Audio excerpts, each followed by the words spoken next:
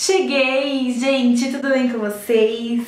Nosso papo hoje é cabelo e eu sei que vocês vão amar o vídeo de hoje porque eu vou mostrar pra vocês como eu tenho finalizado meu cabelo. Vou indicar dois produtinhos que eu tô amando muito e mostrar pra vocês como meu cabelo, mesmo na transição capilar, mesmo com química nas pontas, eu consigo deixá-los assim, ó, bem definidinhos. Hoje meu cabelo, ele tá com uma das formas que eu mais gosto, que é quando ele fica assim, ó, bem definidinho alguns pontos. Claro que tem pontos que ainda não definem 100% por causa da transição, mas os dois produtos que eu vou mostrar pra vocês hoje, sério, gente, tá assim, ó, abraçando meu cabelo demais. Não esqueçam do seu like nesse vídeo, viu? Tô de olho. Os produtinhos que eu vou mostrar pra vocês hoje foram feitos, pensados em quem está na transição capilar, porém, qualquer pessoa pode usar, tá? Esteja em transição capilar ou não.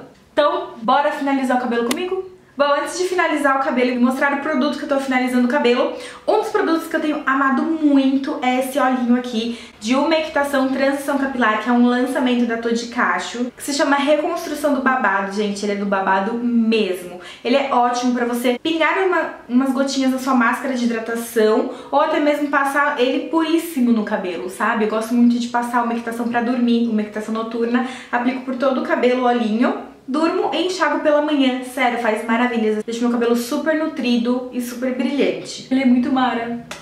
E agora, o que eu mais gostei foi essa gelatina aqui, que também é lançamento. É a gelatina para transição capilar, que se chama Muito Mais Definição, da tampinha vermelha. A gelatina, gente, serve pra gente fazer misturinhas. Hoje, como vocês estão vendo aí, eu misturei ela com caixa dos sonhos, tá bom? Eu não uso muito creme no meu cabelo, por isso a misturinha eu sempre faço na mão mesmo. Eu apliquei um pouquinho do caixa dos sonhos com a gelatina transição capilar, misturei nas mãos e apliquei por todo o meu cabelo.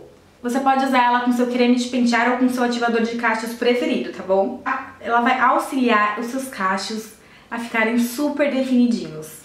Depois que eu apliquei a misturinha do Cachos dos Sonhos com a gelatina por todo o meu cabelo, eu separei partes do meu cabelo pra ir soltando bastante ele. Tô fazendo muito essa técnica de colocar entre os dedos e dar uma sacudidinha, porque eu tenho a impressão que solta mais os fios. Depois que eu sacudo tudo, eu venho com uma blusa de algodão, uma camiseta de algodão, amasso bem, finalizando esse cabelo. E alguns pontos ali do cabelo eu faço um dedo lis, enrolando bastante algumas mechinhas que eu sei que não cacheiam.